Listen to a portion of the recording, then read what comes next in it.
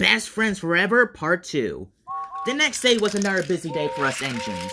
While some of us did our regular jobs, others were collecting supplies for Sir Topham Hatt's birthday party.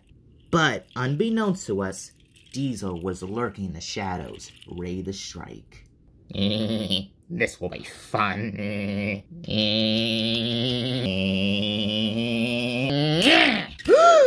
Whee! Flatten my funnel. W what was that? Oh no, the banners! Oh dear. Who could have done such a thing? Eh, time to play. Oi, you! Huh? Bother, he got away. Thomas, Percy, you won't believe what just happened. What? I just saw James crash into your freight cars. On purpose. Huh? James, you say? But why would James do this to us? I'm not sure. Maybe has to do with the fallout that you guys had yesterday? How do you know about that? I was there. You saw me. Oh, right. So, uh, what are you gonna do? I can go teach him a lesson if you like. I can also tell Sir Topham how- No, it's okay. Thanks, Diesel, but me and Percy will deal with it ourselves. Come on. Whatever you say, Thomas. Okay,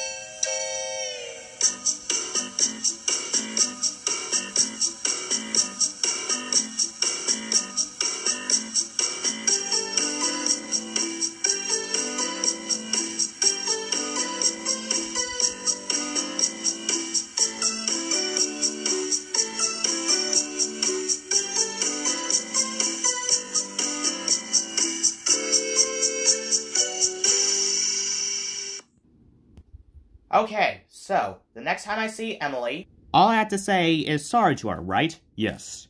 Oh, that's a relief. Because I wrote this whole speech about her last night. What? Well, an apology speech, that is. You don't need this. Well, yeah, I know now, since all I had to do was just say sorry to her, right? Yes, because we're friends. I mean, I didn't think we were just friends. What? Nothing. Hmm? Shaboot Ah! oh, oh, the indignity.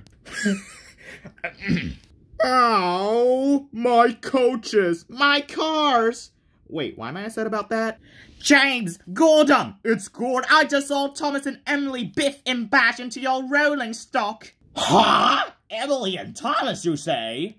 Yes, I, I tried to stop them, but they wouldn't listen to me. They said that they want to pay you out for the things you said yesterday. Well then, we'll be the ones paying them out. Come on, Gordon! I need a little help. Ah! Oh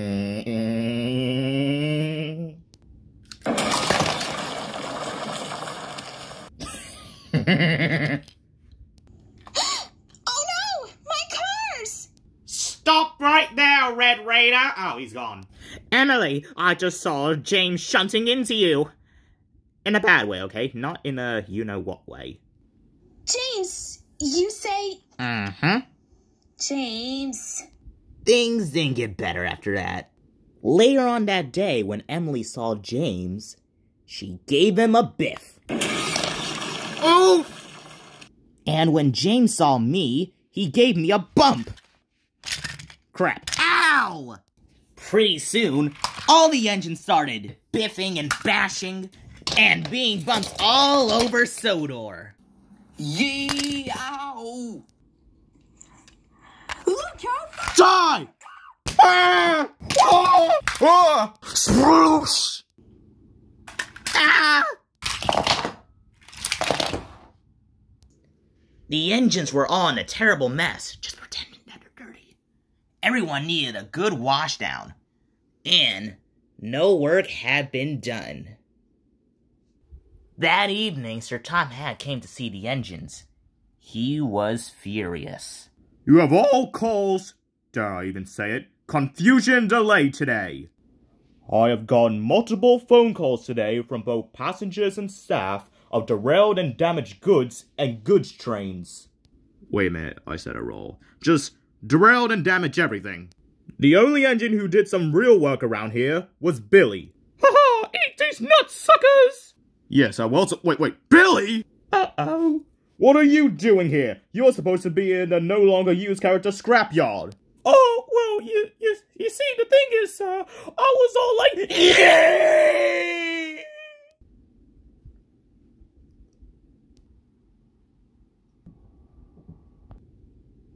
Whatever, I'll deal with him later. Anyways, I am very disappointed in all of you. Except for you three. I'm proud of what you did today. You get the day off tomorrow. Yay! But as for you lot, you will all work twice as hard tomorrow with your duties.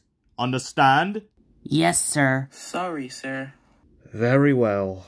Good night. Hey, Billy! Oh, oh. Emily? This was all your fault! Me? If you and Thomas didn't bash into me and Gordon and cause all of us to go bonkers, none of this would have happened. That's bollocks! We didn't cause this, James. You did. Yeah, Bullcrap!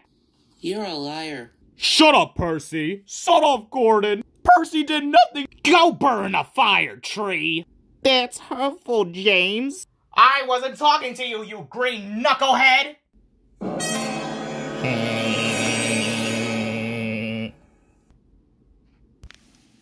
Hey there, Diesel. I heard the great news. Oh, it certainly was great, Diesel 10. I managed to make the whole island turn on each other. Okay, well, not the whole island, but most of it. That's good, Diesel. Very good indeed. Yeah, anyways, I'm gonna get some rest bashing some of those engines around damaging my buffers. Mm-hmm. Wait a minute. What if Paxton knows about our plan? Oh, no worries about him, Diesel 10. I took care of him this morning. so, you don't need to worry about him foiling our plans. Okay, that's good. Or should I say, bad? no, just, just know you should feel ashamed of yourself. Sorry.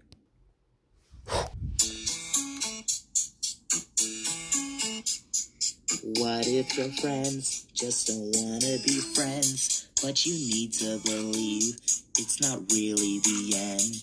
And you've been pulled apart, but you know in your heart that you wanna reach out, but don't know where to start. I really regret the things that we said.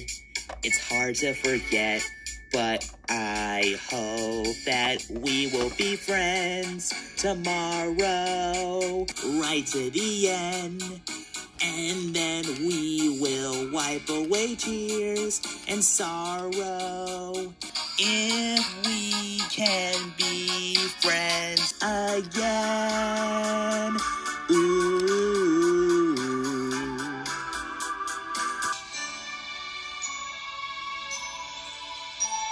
Remember the way we would hang out all day, and whatever we did always turned out okay.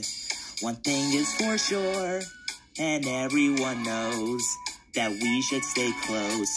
And I hope that we will be friends tomorrow, right to the end. And away tears and sorrow. If we can be friends, I know it's true. Nothing can last forever, but still, I feel this friendship will last just like in the past.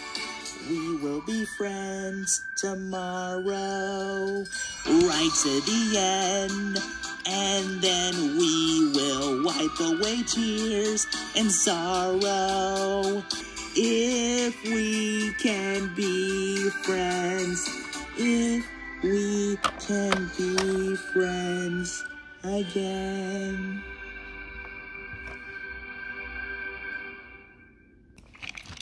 The next day, things went back to normal. Well, somewhat normal. All of the engines were very silent today. Friend not talking to friend. Brother ignoring brother. And engines not whistling hello to others. They were all cross. I was getting worried on the other hand. I didn't want it to be this way on Sodor for the rest of my life, especially with Sir Topham Hatt's birthday very close. So, later on that day, after I finished my jobs, I decided to talk about the problems to Jack. I'm very worried about this, Jack. It only started out as a little fallout, and then it became World War II, but with trains. And right now, everyone's refusing to speak to each other. And at this rate, Sir Tom Topham Hatt's birthday party will have to be cancelled. Do you know what I should do to help out my friends, Jack? Well, you could try and talk things out with your friends, make them want to forgive each other for what they did. Ha! Oh, please! Like that would ever work. They're right, Jack. My friends are really angry at each other. Besides, talking things out with them seems a little too cliche for the show. Well, that's about all I could think of. Sorry, Thomas. That's alright, Jack. But if you need some good advice from anyone, you should really be talking to Oliver. He's good with problems like this. Wait, what? Not you, dummy, the excavator. Okay then, I guess I'll go talk to Oliver. Where is he? I think he's at Farquhar Station or something like that. I don't know. Okay, thanks, Monty. And thank you too, Jack. Good luck, Thomas. Ten bucks bet he doesn't come back with nothing. Deal. And that's pretty much the whole story. Hmm, I see. So, do you have any advice on what I should do to help my friends out, Oliver? Well, how did this fight start in the first place? What, the engine fight from yesterday? Yes, that one. Well, uh, I guess it started out with James bumping into me and Percy and causing our banners to fall down. Mm-hmm. And how do you know that was James? Oh, Diesel told us. Diesel, you say? Yes. Devious Diesel? Yes. Well, there goes your first problem, Thomas. Diesel said that he saw James bumping into you, you say? Yes. Emily also said last night that Diesel told her, too, about James bumping into her. And I think the same went for Toby, too. hmm So... So, what? Although I'm not sure, perhaps Diesel's the one who was behind this whole fight. Huh. That would make sense. Perhaps you're right. Although it seems too obvious and most likely the truth, perhaps Diesel was the one who caused the fallout for yesterday. You're good, Oliver. I know. Well then, I better go find him and put things right with my friends. Bye, Oliver. Thanks. Go get him, Thomas.